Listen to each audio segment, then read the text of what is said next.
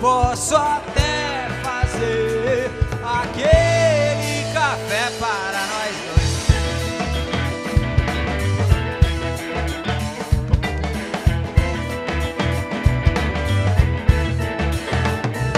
Sendo embriagado pra esquecer dos planos que eu tinha feito pra depois.